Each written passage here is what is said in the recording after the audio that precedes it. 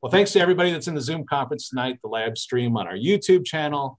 How many we got in there right now? I don't know. We've got uh, 36. Yeah, so we got no, there's 22 on YouTube right now, 36 on on uh, 35, 36 here on uh, on Zoom, uh, and so thanks for that, and everybody that came from Meetup, and uh, we kind of went through our list of stuff. Let me just tell you about our speaker tonight. Dr. Bob Dempsey, he received his PhD in astrophysics from the University of Toledo in 1991. Go Mud Hens, right? Still the Mud Hens there? I think so, yeah.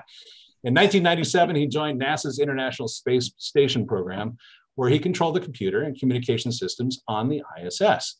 And in 2005, he was selected as a flight director, his call sign Galileo. And in his role, he supported numerous space shuttle assembly missions, spacewalks, rendezvous, and dockings of autonomous or crewed vehicles, and supported a lot of shifts in mission control. For 10 years, he led the operations team that developed and operated the Boeing Starliner crewed vehicle. And I was so just, I was telling him beforehand, I was so excited thinking about him as we saw Starliner, Starliner finally lift off and, and do and just almost perfect. So great. And in 2022, he retired from NASA and then joined the mysterious Blue Origin, serving as the director of mission systems and flight operations for the Orbital Reef Space Station program. Please welcome back for the third time, Dr. Bob, Dr. Bob Dempsey. Welcome back. Thank you. It's a pleasure to be here. Can you hear me okay? Yeah, great. Okay, first of all, let me apologize. Uh, a couple weeks ago, I apparently had a sinus infection and I'm still kind of coughing a little bit. I'll try to mute before I cough into your ears, but uh, when I'm talking, it kind of comes up a little bit. So I apologize for that. So let's see, let me, oh, where'd the share screen go? While he's doing that too, if you guys have any questions, uh, please type them into chat. We'll try and uh, ask them for you. Uh, you can you can also chat on YouTube. We'll be looking at that or right here, and then we'll uh, relay those on to Dr. Bob. Okay, are you seeing the screen? Yes. Okay, today I wanted to talk to you about, uh, uh, as, as, mentioned there, I used to operate the computers on the International Space Station. So I wanted to talk to you about an incident that happened early uh, in the time frame when we were building the space station. And uh, I titled this The Blue Screen of Death. Uh, we don't see that that much anymore on computers, but uh, it was the equivalent of, of that sort of situation. And uh, uh, I include here a picture of astronaut Susan Helms, uh, obviously doing some reading on how to operate the space station computer. So we'll talk a little bit more about that today.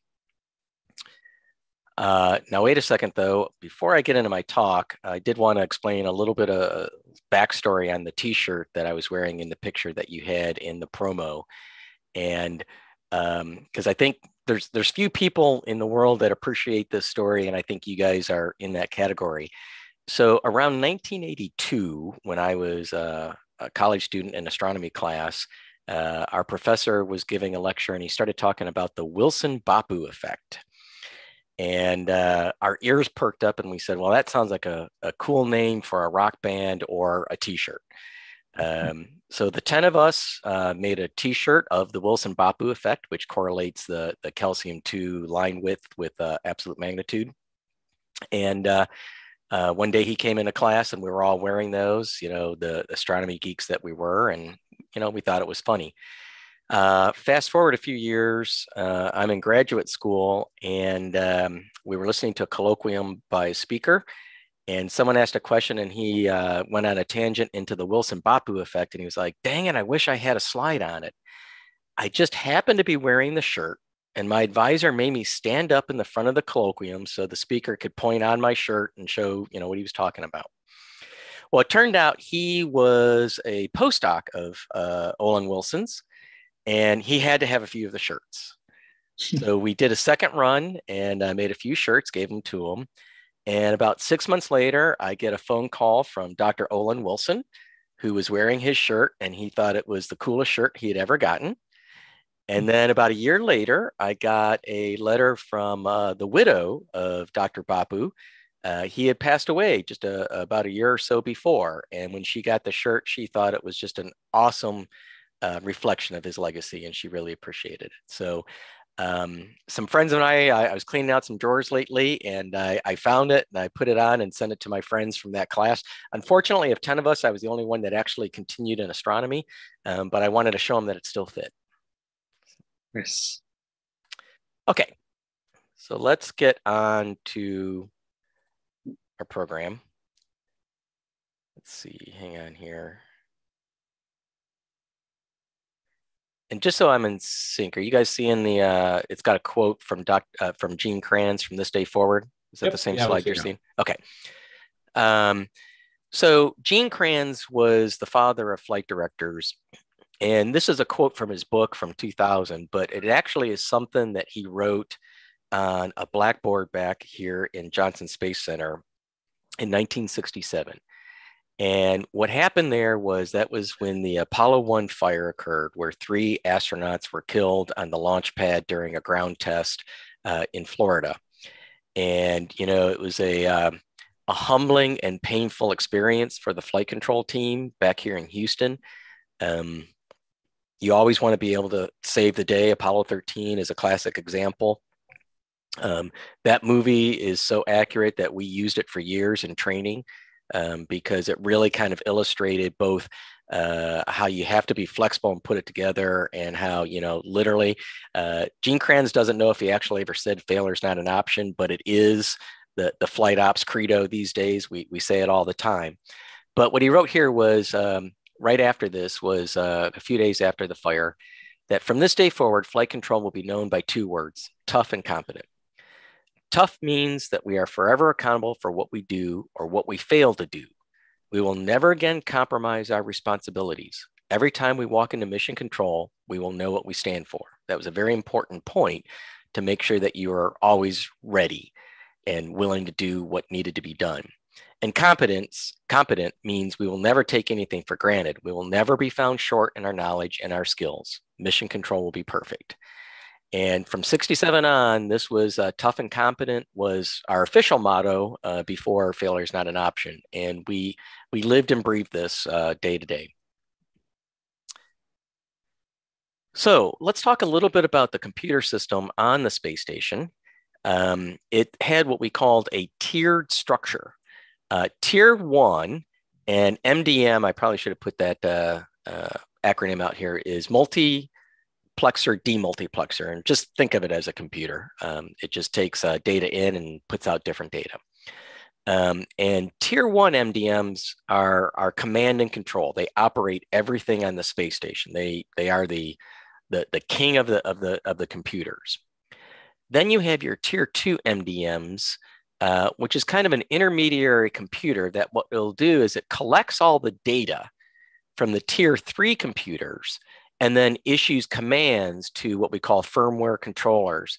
And firmware controllers or effectors are basically a fan. You turn a fan on and off, a valve, you open the valve. Uh, and of course, sensors are pressure sensors, temperature sensors. So these are all effected through the tier three, uh, collected by the tier two, and passed up to the tier one. And this tier one is then our telemetry link to our mission control uh, it also is our connection to the crew's laptop. Uh, we called it a portable computer system or PCS. And this was basically the crew's interface to the vehicle. They could do anything just about that the ground control, but you needed these one of these two guys talking to that computer to operate the space station. Uh, I'm not going to go through all the details of here, but uh, this gives you a little bit idea um, of the type of computers we're talking about. Uh, that tier one were all what we call enhanced uh, computers, and the other ones were what we call standard. Um, they, they processed at either 12 megahertz or 16 megahertz for those that are familiar with it. They had a little uh, memory, a little dynamic memory, um, and they had some other equipment. Um, but uh, probably for those of us that are a little uh, older, you're probably looking at this upper left-hand corner here. You're going an 8386 chip. Good grief. Um, you can't even buy a phone that dumb anymore. Um, but, uh, you know, don't laugh. It, it, it got the job done. Remember, all it's really supposed to do is pass data back and forth, commands back and forth, and it was sized for the, the task that it was assigned to. So uh, here's a picture of one of these computers. Um, and it's a silver box, and that's because it's in a protective box. I'll show you the inside here in a moment. Uh, this is an example of that command and control computer, um, which was that, that enhanced one. Um, but you also notice a little verbiage here, or PL, and what that is is uh, it's a payload computer. Um, those were to you know work with the science experiments and stuff, and they were the only other computer that was in function and form the same as the command and control, but obviously it had different operating software. And that'll come up back later. And here's what it looks like on the inside. A lot familiar to you if you've ever uh, taken apart a desktop computer um, where you've got cards in there. Uh, some of these cards are computing cards. Uh, some of them are, you know, math processing, uh, different types of uh, computer cards here. And then over here in the far right, you'll see something that looks very familiar to a lot of us, a hard drive. And this is where the, uh, the, the software was loaded, you know, so when it booted up, this is, you know, it spun up, read the hard drive, and then uh, uh, began the operations, um, just like uh, any desktop that you used in those days. This eye chart is uh, uh, shows all the connections. You know, I, I mentioned that there was three command and control. Uh, they are triply redundant. They are completely identical. And the purpose of having three of them is if one fails for whatever reason, you've got two more. And if a second one should fail, you've still got one. Um, so you've got that nice redundancy so that uh, you're, you're covered for just about any scenario. And you probably can't read all these other, but these are all the different computers around the station uh, that control everything from the solar arrays to the thermal loops uh, and so on, uh, all underneath these uh, command and control computers. And by the way, I can't see the chat. So if someone has a question, you know, if someone could just yell it out or something, that, that's fine. Um, so let me just focus in on uh, the structure a little bit. So these are the command and control ones that I'm talking about. You had your internal computers, as they were called, which controlled all the laboratory. That's what labs. So all your everything that was in the pumps, valves, powers, payloads, everything was under here. You also had a guidance, navigation, and control computer, a power module converter unit, an external computer that dealt with all the things on the external side of the station, and the payloads. Now, also in the upper right-hand corner, you're going to see a small set of two computers here called the node computers. And uh, they are a special computer that was part of the assembly, and they could talk to the same computers. And something you'll hear me refer to is a term called bus controller. And basically what that means is one computer can be a bus controller. And what that means is it talks on these data buses to these other computers. And kind of like uh, Highlander, there can only be one. So another thing that we're going to be talking about today is something called Mighty Mouse. And again, um, some of us may remember growing up watching Mighty Mouse, uh, an old black and white cartoon where uh, um, this uh, goofy little mouse would always, in the end, come and save the day. So he's an important character today. Why is that? Well, these computers were designed, remember, only one could be um, active at a time. And we designed this, this system such that if these guys are sitting out here, and they, they basically do some low level function control of what was called the node module also known as Unity module. And if they're sitting out there and they're like, hey, dude, you know, talking to the other one, we haven't heard from these guys in a while. Something's wrong. So what would happen is if they say, hey, there's no one out there, they would transition to what we call operational and take control of this bus. And then they would say, okay, let's power cycle the first computer. And then take itself out of bus controller, because remember, there can only be one. And he they would go back down and say, okay, now I'm going to wait and then listen. Do I see a computer out there? And if yes, all is good. If no, it power cycles the second one and does the same thing. And then if there's still no computer in charge, it does the third one. And then when it sees that, it goes to standby. So you've got three chances where these computers will try to uh, power cycle these guys. And it actually does this twice. Because uh, you know how sometimes computers are. If you power cycle it once, it may not completely come back the first time. So we do this twice, and we uh, I helped uh, develop this software. Um, it was uh, one of the earliest tasks I had when I joined the space station program, and because these were the big, powerful computers that would run everything, and these were kind of these little pipsqueak computers out here. Uh, and if they powered cycled this, we referred to this as the Mighty Mouse algorithm, because these little guys were recovering the big guys. Okay.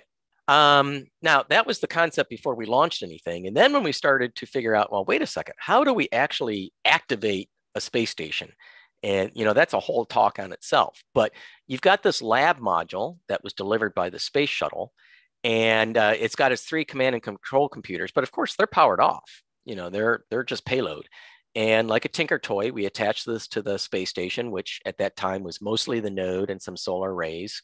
Um, and these computers had already been up there for a couple years, just controlling, keeping this thing warm and comfy, um, and you know, basic telemetry. So somehow we had to transition from these guys running the station to the new permanent kings, and this was this. But as I said, there can only be one. So we had to figure out, well, how do you turn these guys off and turn these guys in sequence? Well, you're probably ahead of me on this. It's like, hmm, this sounds a lot like the Mighty Mouse algorithm. So what we decided to do was um, basically use that same algorithm where we would basically tell these guys, it's like, okay, you should be monitoring for these other guys. Do you see them? No. Well, start going through your algorithm. And in this way, they did exactly that, powered up these computers, the first one, on what we call lab, lab activation. Um, and then we could connect a, a, portable computer system and the crew could tell it, okay, now power up the second one. And we were good to go. And then we worked out the rest of the lab, you know, power on the electrical systems, the thermal systems, the guidance systems, and so forth. So this is how we kind of bootstrapped that system up. Um, now, one key thing here is uh, these nodes computers when they talked to the the crew's laptop they actually used a special different software because these were different computers. It was called the early pcs or epcs and then basically what i said if it doesn't see that it turns that on and then if yes uh, the crew connect to their normal portable computer system and we're good to go. And if not it would do the second one. Okay.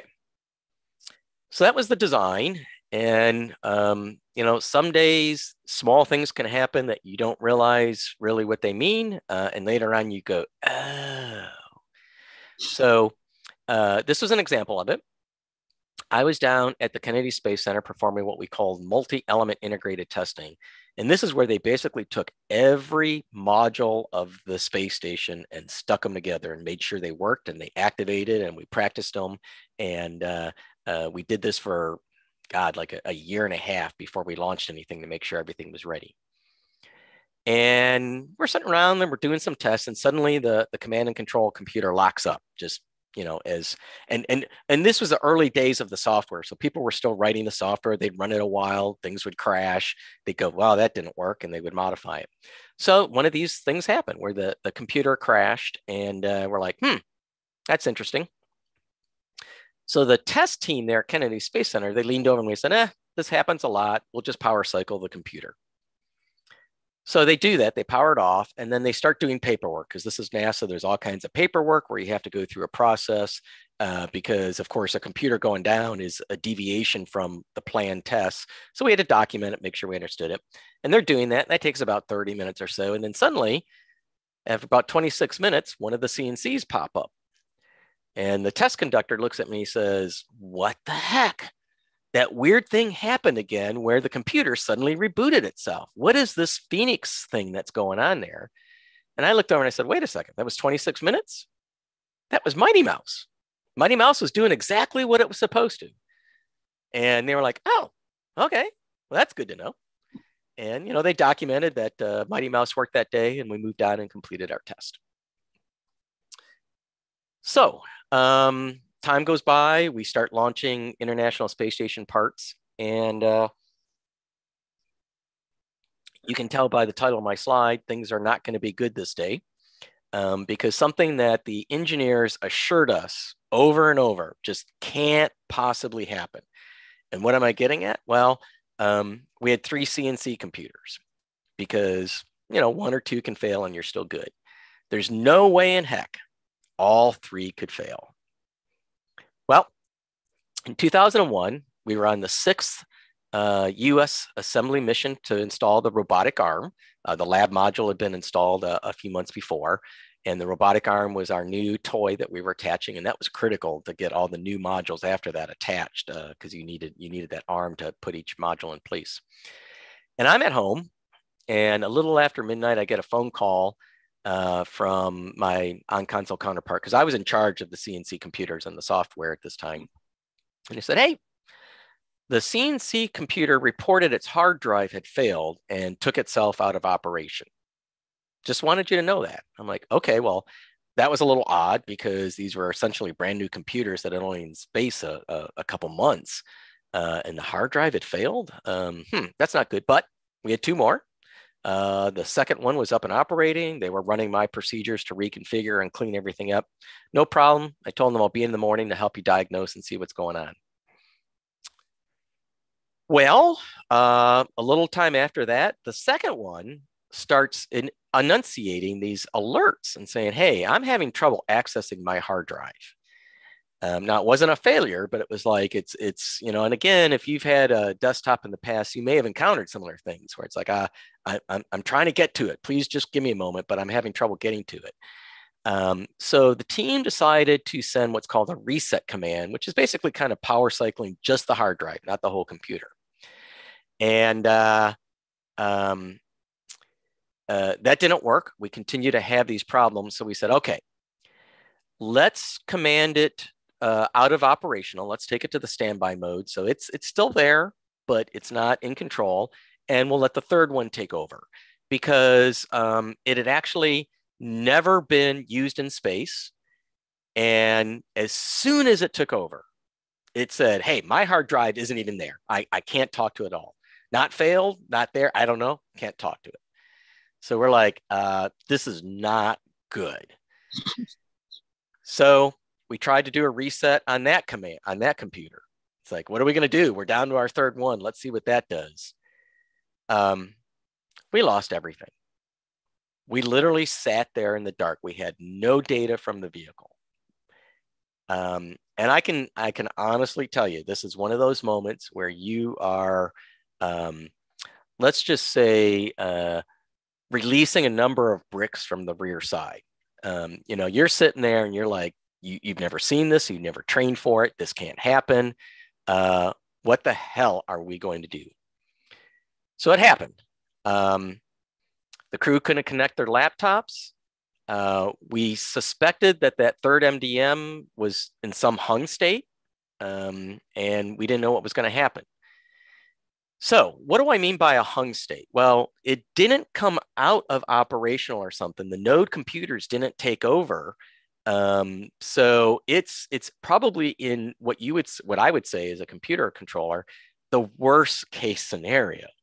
You know, if it had failed, you might have another option. If it was working, things are good. If it's hung, you don't know what's going on. So since we thought it might still be operating, um, we uh, I guess a, a, key thing I should mention here, the thing that kind of also saved our butt here was we did have the space shuttle docked to the space station. That's how we, we just delivered the robotic arm. Um, so we could still talk to the crew through the space shuttle.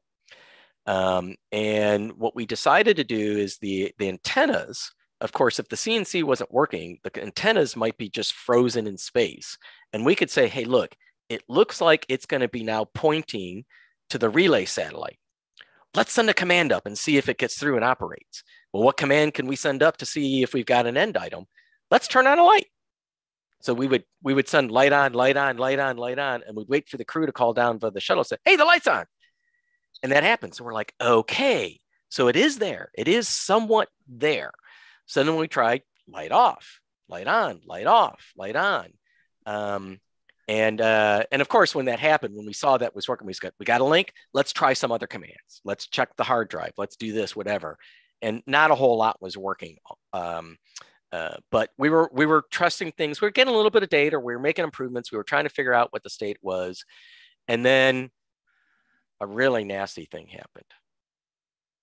the crew went to bed and hard powered off the light switch. So we had to sit there until it was time to wake up the crew, you know, because we we didn't have our light switch. We kept trying, and sometimes we got some commands through, but you know, having a light there was really nice. So when we were confident we knew what was going on and we could command the vehicle, and after the crew was awake and we did our light switch test again, we decided to just power off the CNC3. Remember, the second one was in standby. And by the way the code was written, um, when you power off the third one, it should say, hey, there's no one in control. It should transition and come back and at least be where it was when we told it to, to uh, go. So unfortunately, that happened. And then when we tried to activate the telemetry link from that computer, we lost it. And this time we lost everything. And we we knew that we we we we didn't have a hung computer here. We don't know what was going on. So we sat there waiting and waiting and waiting. Something else I forgot to tell you. Without a CNC MDM, we can't talk to the space station from mission control. We can only talk to the space shuttle. We can't even control the attitude or the solar arrays. Um, we can't release the docking clamps for the shuttle to undock. So, in other words, we could not undock the space shuttle. Uh, now, the orbiter was still controlling our attitude because the station was small enough in these days that it, it could do that. Um, but the space shuttle only had consumables for about 10 days, and we were halfway through this mission. So even before we were trying to figure out what to do here, we knew we the top the clock was ticking. Uh-oh, I also forgot to tell you something else. So I don't know if the name Dennis Tito rings a bell for you, but he was the first paying tourist to the International Space Station. And it's something the Russians had to deal with. Now, the United States, by law, uh, back in those days, we could not do commercial operations. We can't do commercials. That's why you don't see Pizza Hut on the side of uh, uh, rockets. Um, we we couldn't do paying customers. Uh, you know that's changed now with law changes, but back then, and uh, the the Russians, you know, trying to make money, wanted to launch this uh, rich tourist. And for months, NASA was saying, "Hey, we don't want to do this. We really think it's the right time for a tourist. You know, we're still kind of doing assembly, maybe down the road. Why don't you why don't you sit on it and think about it? Um, so Russia, of course, was thinking that they were just tired of the stalling tactics and figured if we came back and said, "Hey, please don't launch uh, Dennis Tito," which we did at this point, they were like, "Nah, we're tired of this. You know, he's paid his money, he's coming." Okay, well, I probably wouldn't have told you anything about Mighty Mouse if I didn't think that uh, he helped us out here. And sure enough, he did. So after that uh, third computer, when we tried to activate it and things went dark a second time, uh, we waited. And uh, sure enough, uh, we were able to, it had power cycled and one of the computers was there. Its hard drive was not functional, um, but it was there working okay. So we were like, whew, We've got a lifeline now. So we've got one computer in control, but it doesn't have a healthy hard drive. These two are failed. Um, so what we did is, remember I mentioned earlier, those payload computers were uh, hardware-wise the same. Well, we said, sorry, scientists, uh, we're going to take away all your data. And we took out one of their hard drives and we decided to uh, uh turn it into a hard drive for the CNC. So we had to reformat the disk and load the off uh, load the operating software software. Now, that sounds straightforward. Um, a lot of us have probably reformatted a disk. It's a command. Uh, to give you an idea, it took about eight hours uh, to reformat the hard drive. Um, and of course, it was buggy software. So the first time it did it, it failed at about seven hours and 15 minutes, and we had to restart it. Uh, so we did that again. And then we had to load the software to the RAM the active dynamic memory, because obviously it couldn't read any real software from the hard drive. And um, we had to load that. Now the the we can only do like it's 172 kilobits per second is the radio link. So you're really doing a small chunk of bytes at a time. And we're talking about now. I know this doesn't sound like a lot now, uh, but one megabyte of uh, software um, and doing it at a few bits per second uh, is very long. And of course, the same sort of thing. You'd be loading the software and you'd be getting it there. And then, of course, you'd have some radio glitch that would garble the signal. And, and you know, as what happened, and you'd have to start over. So we did this painfully over and over and over. And eventually, once we got the software, we did what's called a reboot from RAM, the, the that dynamic memory, and it came up. Well, we've got one computer up. We also didn't know how long that hard drive was going to last because apparently they were a little finicky. Um, so we did the same process with the second CNC. Now, of course, it wasn't quite as slow because we didn't have to use that little radio link on the shuttle. Uh, we could use the space station's big radio link because now we had one CNC computer controlling it. Um, so the second one went a little bit faster. So once we had two CNC MDMs up uh, and operating again, we were able to undock the shuttle.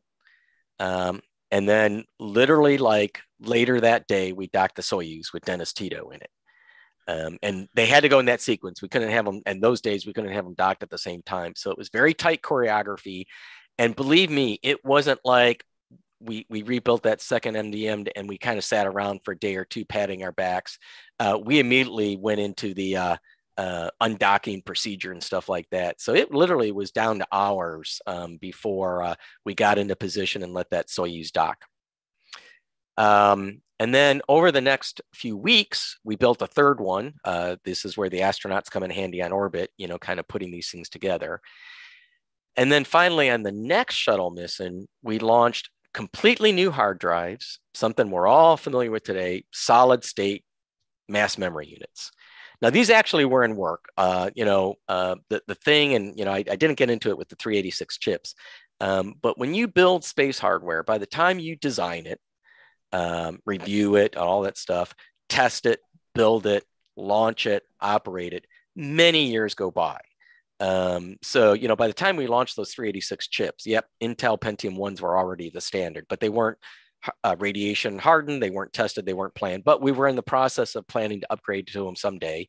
Um, but these solid state drives were in process. Um, so we greatly accelerated them. And uh, on the next shuttle mission, we replaced them all three of them and uh, lo and behold, in uh, the 21 years since then, we've not had a hard drive fail. So, um, what what was the cause of the problems? Well, one of them was, and this is a, an enlarged photograph of the uh, disk. And if you've ever pulled a hard drive apart, basically it's kind of like a phonograph, uh, a disk that spins around, and in fact, there's an arm that comes in and retracts, kind of like your phonograph needle, if you remember those, um, when it was powered off. And then it was powered on, it would come in and it would start reading this. It would spin the disk up and start reading it. Well, what they didn't realize was that motion, if you can see my arm, um, was not properly damped out. So basically, what would happen is every time you powered on the MDM, it would go bump and it would actually bump the surface and nick it and, and scratch it. And remember uh, that insignificant moment I mentioned early in testing where they would power cycle the MDM on the ground? Um, well, I got to see Mighty Mouse work, but also what was happening is this was happening all the time. And every time they did this, they basically were slamming that hard drive. So they were scratching it up uh, pretty bad. Is that because it was in micro G? Was it something because it was in orbit, or is that just? just that's a, that's that's a great question. And um, I'll tell you two funny things about that. One was, uh, yes, uh, actually, that isn't funny, but that is part of it. Uh, it happened both on the ground, but we think it was exacerbated by orbit. Um, and the reason by exacerbated in orbit is probably what you're getting at. You basically have a gyroscope spinning. So you have gyroscopic forces happening on it. So it would warp a little bit. And then, of course, that hard drive, that, that uh, armature would come in and hit it.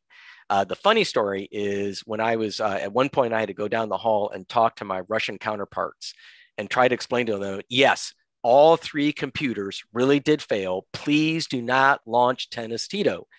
Um, and they were asking me some questions about how they failed. And we, we were talking about, and they were like, ah, we learned a long time ago to get rid of the hard drives because of the gyroscopic effect. It's like, thanks, guys. That would have been nice to know.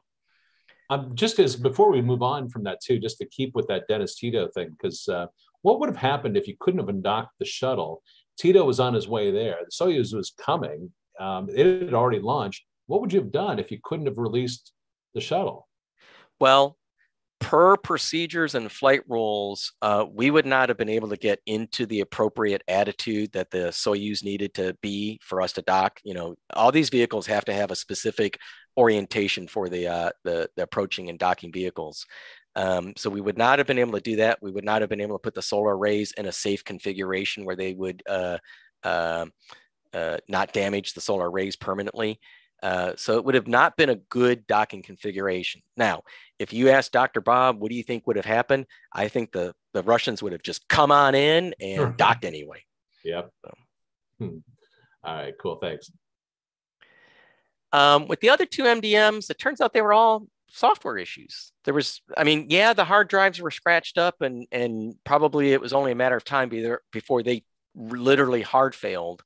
Um, but um, it, it was software. It was just the software was buggy and it was having trouble accessing it. And uh, that was uh, an interesting challenge because at the time, you know, we're like, oh, is it the new robotic arm that's causing it? You know, somehow the software usage, you know, there was so much usage of the robotic arm that, but it was it was just the way the the software designed to access the hard drive was uh, just had some problems with it. So, um, some lessons we got out of it. Well, this is uh, when I learned in, in the space biz that if, if an engineer or anyone tells you it can't happen, it can. Um, uh, space is far more creative than we can ever be. And in my other two talks that I, I gave to you guys, you, if you may remember, uh, I mentioned that you know as a as a flight operator, I would spend a lot of time. All of us would spend a lot of time laying in bed at night, staring at the ceiling, worrying about what could happen. What have we not thought about? And that's really a lot to me. That's a lot of what rocket scientists is trying to anticipate it because engineers can design things as well as you think they are, but until you get it in space, you can't always uh, you know just like the gyroscopic, the the warping, the the damage. You can't anticipate all that stuff always. Uh, you also have to be flexible. Um, you know, we had payload MDMs that had parts we can scavenge, and I'm not kidding. This really was like an Apollo 13 uh, moment in mission control, and people were running around trying to figure out where we had parts of things. Um, and uh, you know, uh, it's also the team was flexible in trying to figure out. We had never trained or planned to load software from the ground like this. Um, in fact, uh, I and a couple guys, like 2 a.m. one night, we were like just playing around. It's like, hey, you want to play a trick on the software people and see if we can modify their code without them knowing it? And we were trying to load some software and it worked. And we're like, oh, never thought it would come in handy someday, but it did. Um, and the the after we had activated the lab, um, and those CNC MDMs were up. Uh, the engineers folks, they were like, hey, let's get rid of Mighty Mouse. We don't need that subroutine because that's something we're always going to have to test and maintain. Uh, and we fought really hard and said, nope, keep it in there. Uh, we also knew the system. Um, I and my colleagues, but I had literally gone through every line of code in that computer, and I knew every line of code. Um, and that really helped. Uh, we really understood the hard drives. You know, we had played around with it and testing and knew every aspect of it. Um, so we really knew, um, uh, understood the complex system. And it's funny, you know, a lot of times people ask me what rocket science is. And like I tell you, we're using 386 chips. So it's not cutting edge technology all the time. Um, but to me, rocket science is kind of like, okay, you've got a Volkswagen Beetle from the 60s relatively straightforward, solid engineering. Oh, by the way, that's 200 miles away. Now you've got to figure out to tell someone how to, you know, remove the carburetor, uh, and they can only do it with one hand without looking. You know, you've got to know it that well, uh, and that's that's how it works. Um, so we had seen the the, the Mighty Mouse.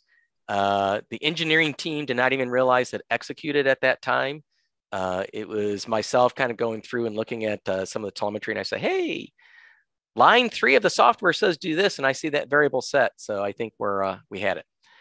Um, and by the way, uh, I had developed a whole bunch of flowcharts on how the software worked, including Mighty Mouse, and the uh, the requirement specification was updated to use my charts. So, ah, so let me pause there um, before I get into the next stage of my career, is there any other questions on that particular story? Yeah, there, there was a couple here that uh, came in too. Uh, we'll start with uh, Professor Moshe Guy had asked that at uh, some point he recalls that uh, NASA was looking for old PC workstations with DOS and floppy disks, and the idea was that they are still working and that they must be good enough for space. If they worked on Earth, these old things, let's take them to space. Did, did that happen, or is, is that a true story? Are these things still being used somewhere? I am not aware of that particular thing. Now, I will tell you that even up until the day the shuttle retired, um, folks were spending time on eBay uh, to buy parts, uh, computer parts, uh, I think PC parts, um, because a lot of the things that uh, launched and operated the shuttle was no longer manufactured. And of course, once the program was ending, there was no motivation to spend money. And uh, so, yeah, they were pulling parts, uh, I know, from old computers to try and, like the ground launch sequencer. Um, there, there were some cases of that that I'm aware of. So maybe that's what, what that refers to. Hmm.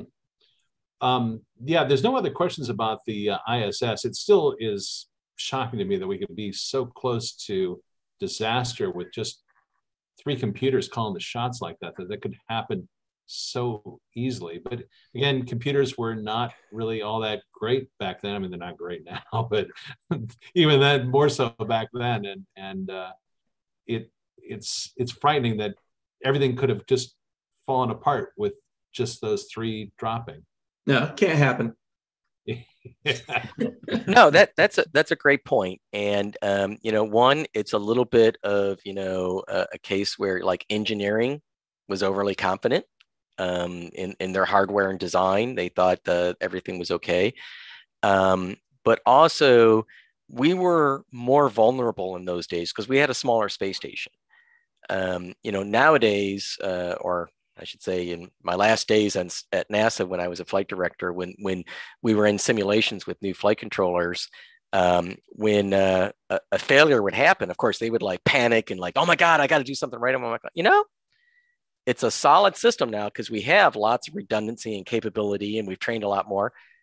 Just relax; it'll take care of itself. But back then, where we only had a few computers, uh, we had limited resources, limited power, limited consumables um, that was the worst time for that to happen.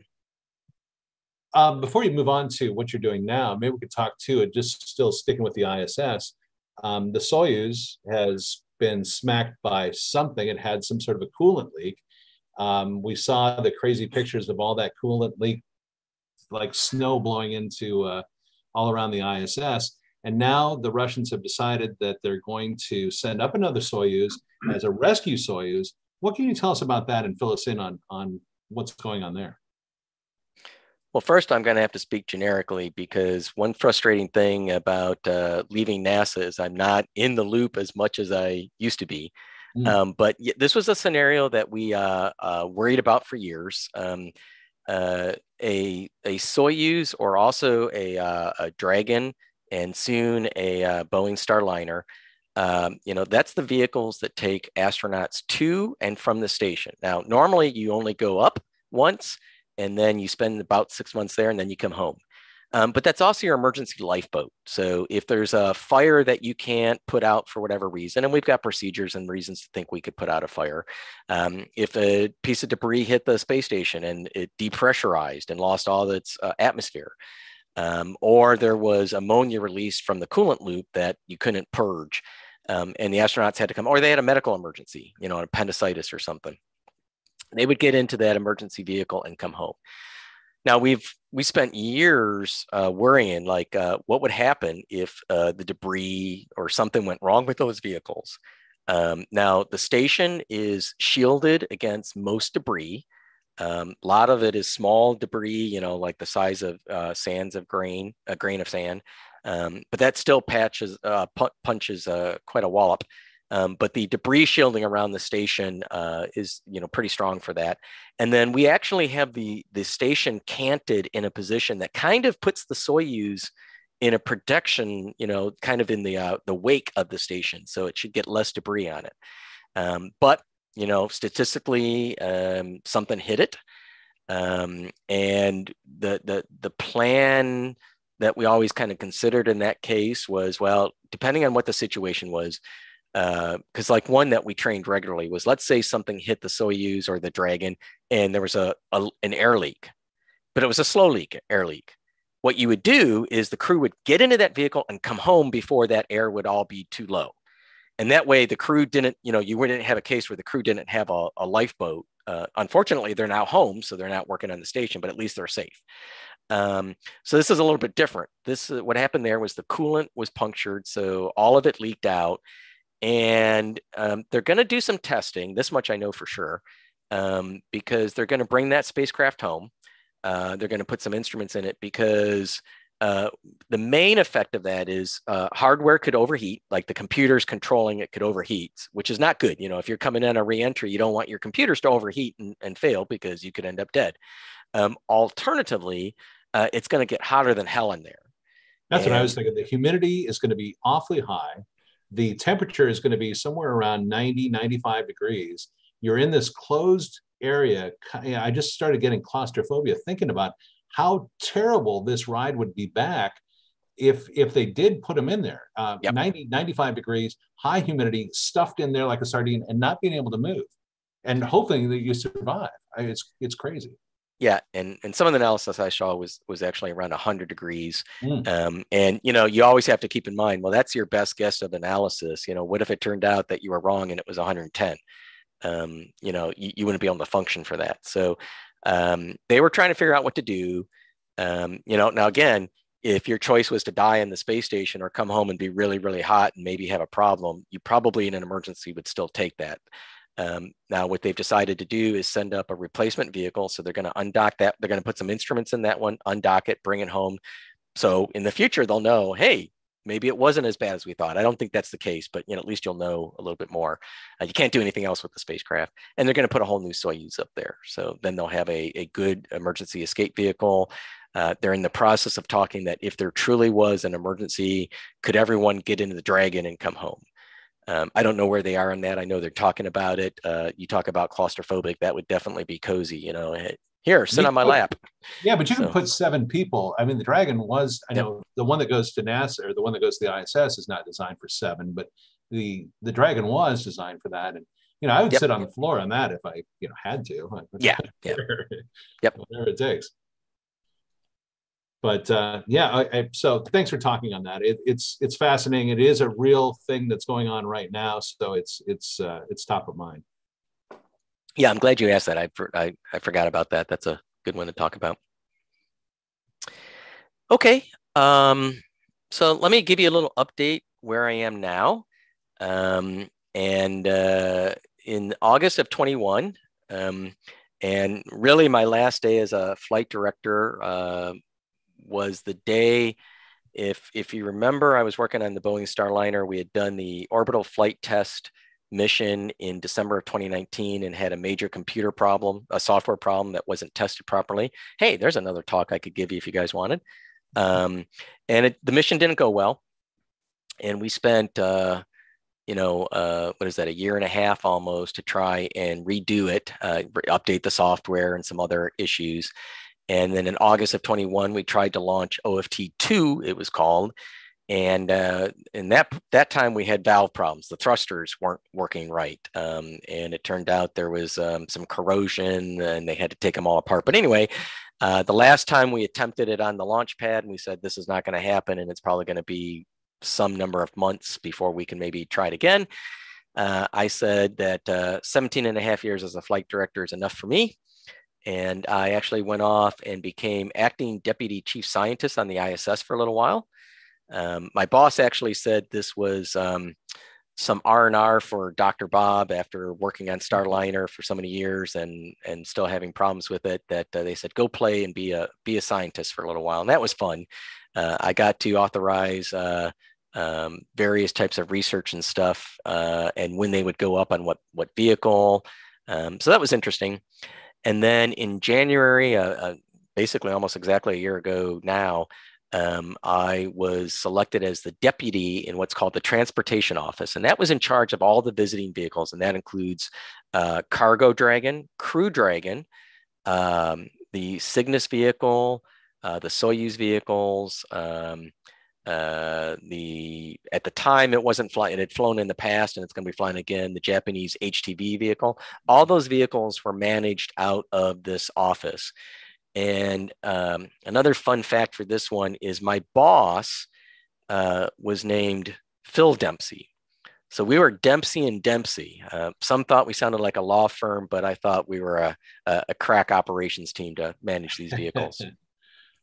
well, congratulations on the Starliner too. I think you know for um, all the years that you poured your life into that too, and to see just how how gorgeous it was. The the images that came back of the moon and earth and and the selfies that it was taking of itself with the background of things and just the success of that mission. Again congratulations on that doc. It really it's a it's a hell of an achievement. Thank you. Um, and then uh, in uh, march of 22 uh, a friend from Blue Origin called me and said, Hey, I know you've been really interested in commercial space for a long time. Do you want to come work for Blue Origin and work on their lunar program? And I said, No, I'm loving my job. And well, wait a second, let me think about that. You know, that, that sounds like a really awesome opportunity. So I crunched the numbers and discovered, holy crap, I'm eligible to retire. Um, so I, uh, I retired from uh, NASA and uh, started working at uh, Blue Origin. Uh, however, they said, hey, yeah, the moon's cool, but you seem to have a lot of experience on space station. And uh, we have this thing called Orbital Reef, and we'd like you to be in charge of the operations of it. Would you like to do that? And uh, I said, yes. And I'll tell you a little bit more about that in a moment. And as I've told Dan and, and Franco, I apologize. I can't really talk a lot about Blue Origin. Uh, they're a private company, and uh, unlike like competitors who like to tweet a lot, um, they like to keep things really kind of uh, uh, proprietary. So I can only kind of go into kind of a high level stuff, but I wanted to tell you a little bit about it. So what is Blue Origin? Um, you know, they they have a vision, and I'll, I'll be honest, I, I've whether orgs or companies I've been with, they always have a vision, and you always kind of go, okay, well that's that's cute. Let's let's move on to real work. Um, but this is a vision that I, I, I truly believe the founder has, and the employees that we we we've picked up uh, truly believe that this is where we want to go. Now, this is not something that's going to happen tomorrow, but we're looking to put millions of people living and working in space for the benefit of Earth. Um, and I, and I'll and I'll be honest, it's not a trite thing. Uh, we talk it daily, if not weekly. Um, as we plan things, we're like, how does it serve the vision? Um, now, Blue Origin has a number of programs that are ongoing right now, and uh, a number of them I, I can't talk to you about.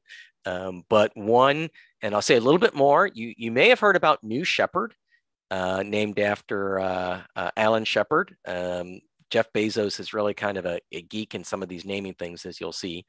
Um, so this is a, a, rocket where paid customers can uh, go up and do a short suborbital flight for about 15 minutes. Um, but that's a stepping stone. Um, we're also working on what's called New Glenn. Uh, this is this was a suborbital flight, so you can probably guess why it's called New Shepard. This is an, an orbiting vehicle, so it's called New Glenn.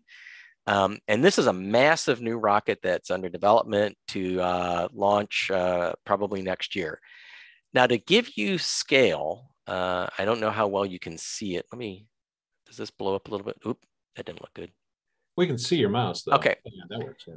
So let's, let's, so this is the payload fairing on the New Glenn. This rocket with the capsule that's not in this picture would fit in that payload, payload fairing with space to spare. Wow. So this is going to be a big rocket. Um, Blue Origin has done a lot of focus on engines. Uh, obviously, we needed some engines for New Shepard. Uh, we need even bigger engines for the New Glenn and the upper stage of New Glenn. Um, so they've been uh, developing uh, engines for a while. Not there's only a few companies in America that actually uh, build engines like Rocketdyne. Um, and uh, in fact, the Blue Origin engines uh, you may have heard are going on the Vulcan rocket that uh, um, United Launch Alliance is building. Mm-hmm. And then there's this thing called Orbital Reef, which is a commercial space station. Um, NASA wants to end the International Space Station by the end of this decade. And they want to have uh, commercial space stations up in orbit so that uh, you know that same sort of research and opportunity can continue on. And they're doing a commercial program that's very similar to what they did with cargo and crew, uh, the commercial cargo program and the commercial crew program. And what they do is they provide seed money to private companies and say, hey, we'll give you some money, but you've got to put some of your own money in there for skin in the game. And uh, you know, if um, you succeed and you build it, we will come.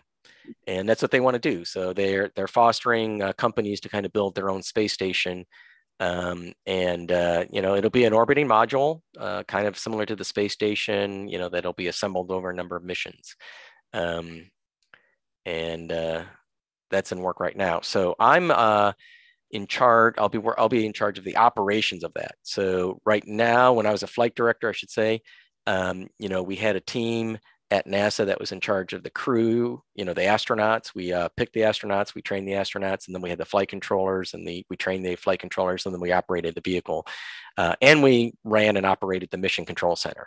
So that's the operations that uh, I'm been asked to build for this program. So since we have a little time, if that's okay, uh, instead of the pictures, let me go to uh, video. And here's uh, New Shepard. And you've probably heard some of this in the news um, because these do happen. We've had a number of these flights.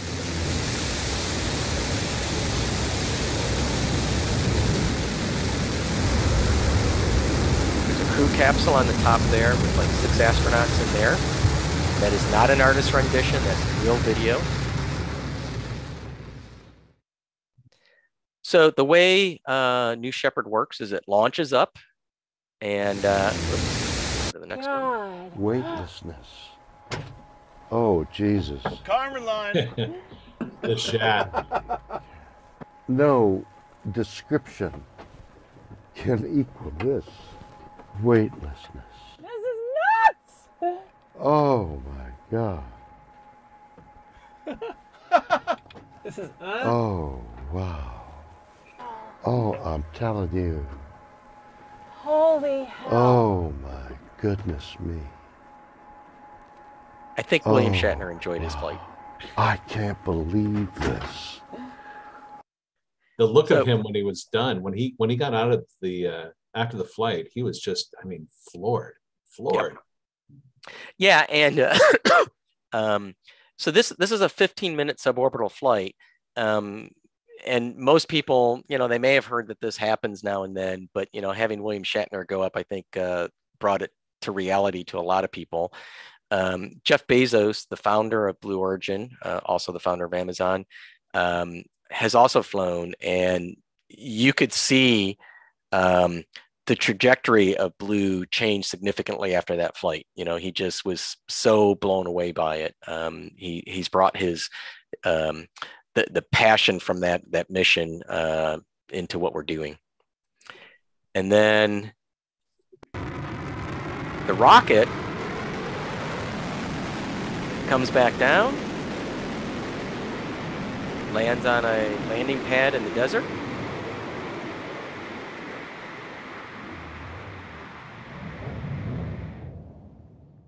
And it gets cleaned up and it gets used again and the crew uh, the capsule jettisons. Obviously, it jettisons and goes up on that parabolic flight into the uh, above the Kármán line, Welcome and then it lands the in the desert under parachute.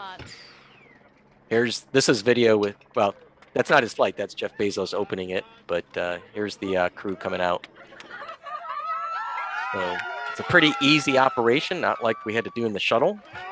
Um, they just kind of walk out we go. There's Shatner.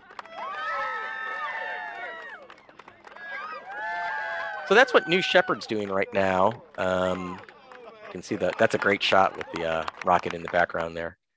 So um, and when will, when will, they launch again, Doc? It's it's uh, are they going to do some more uh, launches in 2023? Oh, absolutely. Um, if you may, excuse me, if you recall, um, about four months ago, we were doing a uncrewed uh, payload mission, and the booster experienced an anomaly, and they're uh, they're they're going through the investigation. I think it's uh, I'm not sure where it is at this stage, but uh, um, you know, it's it's it's like an engineering thing. You find the problem, you fix it, and you fly again. So how, how many do they plan on doing in a year? Is that is that super secret or is that something? I mean, are they going to try and crank these out and go all the time? Um, you know, I, I don't know off the top of my head. Um, I, I think it's supposed to be fairly routine. Hmm. Um, so orbital reef, uh, it's this uh, space station, and don't feel too bad that it's kind of blacked out behind the words um, because uh, it's it, it's just an artist concept there. But you know, it's going to have different modules and uh, um, be in orbit and assembled very similar to the space station. Uh, here's kind of an artist conception of it uh, on the inside. Um, a key thing for things like tourists is nice views of the Earth, so windows will be prominent. Um, and uh, be a lot smaller, or I assume smaller, right? Smaller than the station ISS? Yeah. Uh, no, actually, the volume of these modules will be significantly larger than any module on the ISS.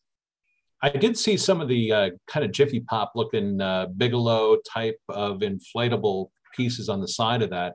I know this is just a rendering. Is that is that something that uh, is being considered too? Because I know that they flew one on the ISS for a little bit, and they're certainly a great way to uh, give you a lot of volume in space uh, that you can pack right down. Is that is that something that's being considered too? Uh, I really can't go into that. Um, I can't go into design specifics, but Right, if you were to Google Sierra Space and some of the stuff they're doing, you'll probably find the answer to your question. okay, fair enough.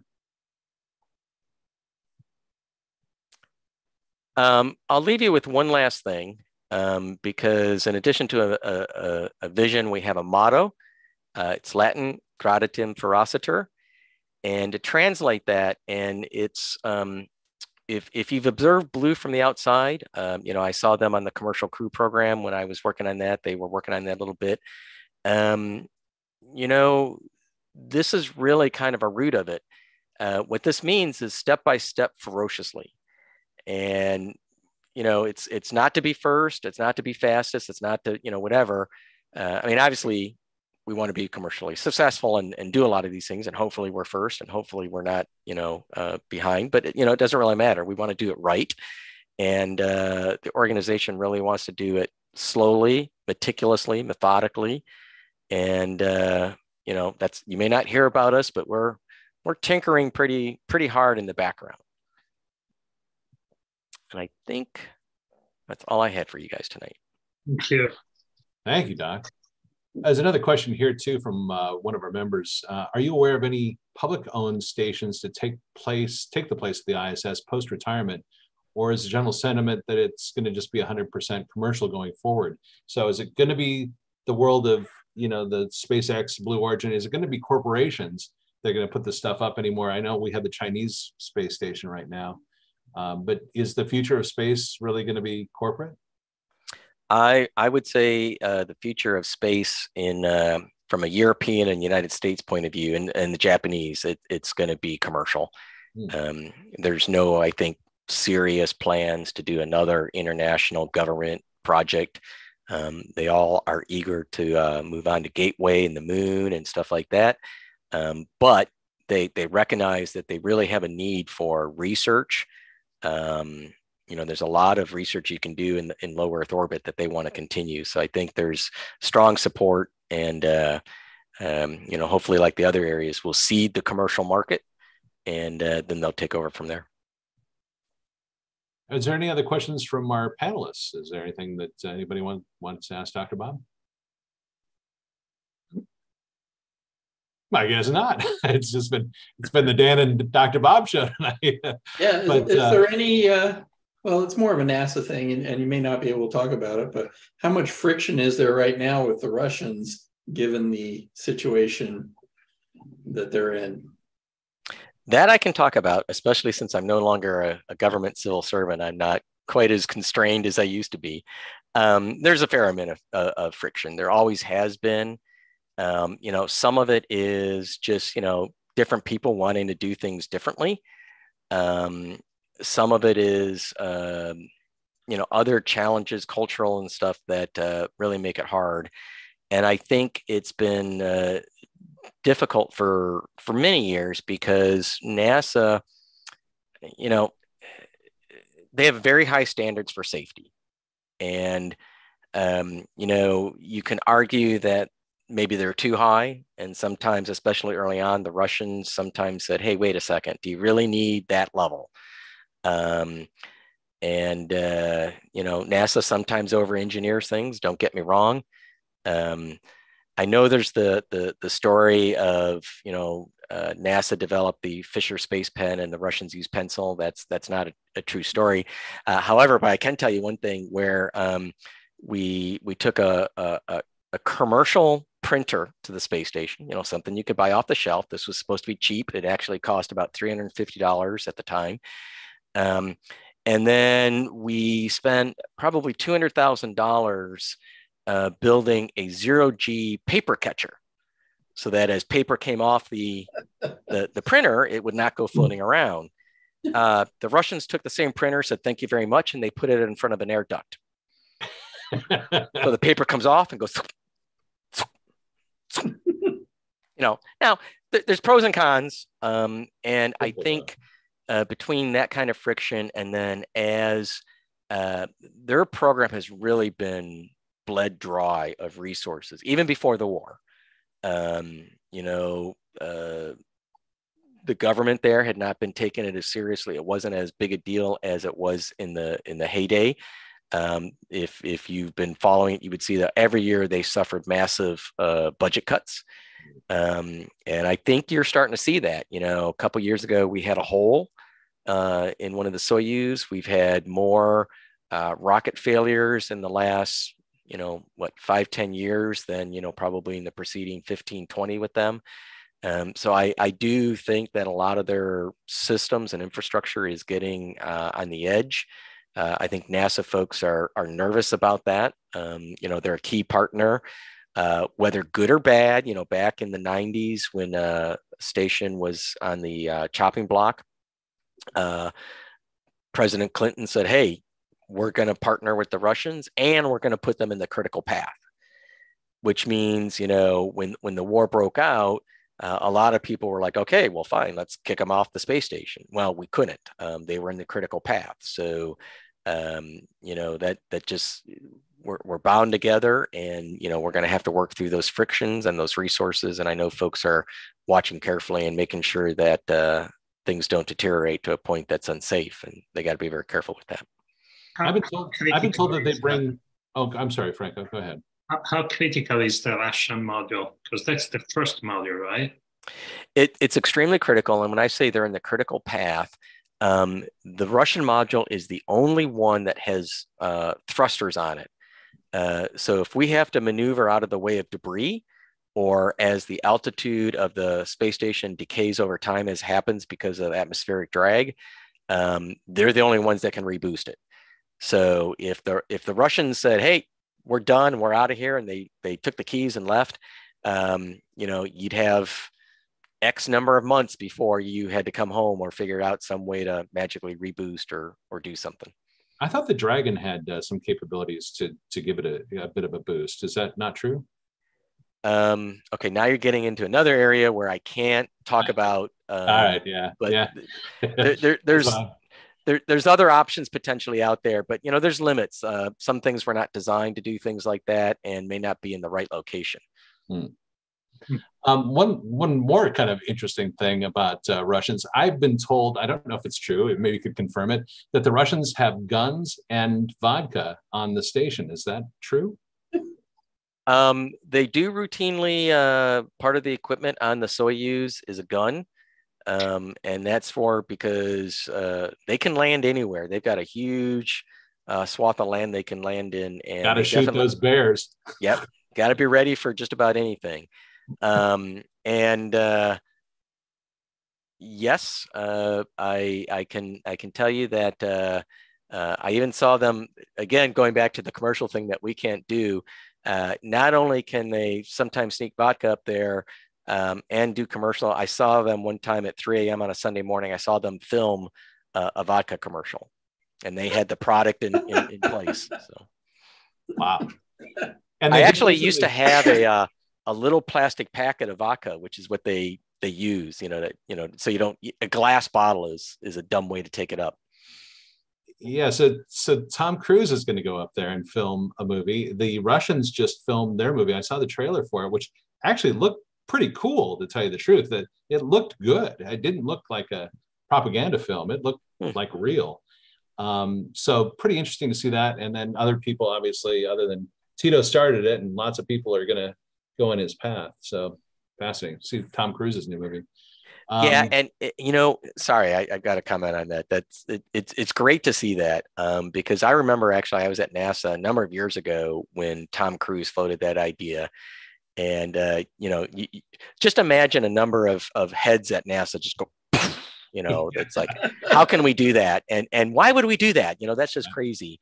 Um, so it's you know, you can call it art, you can call it dumb, whatever you want, but you know it's commercial and it's the way of the future and i think it's great that it's it's it's starting to happen. I think so too. Well let's uh let's wrap here and uh you know again it's just such a privilege to have you as uh, as a speaker regularly and and you know our third time now. And i know that you have another talk queued up for us and so maybe we can revisit that maybe at the end of the year first part of next year again.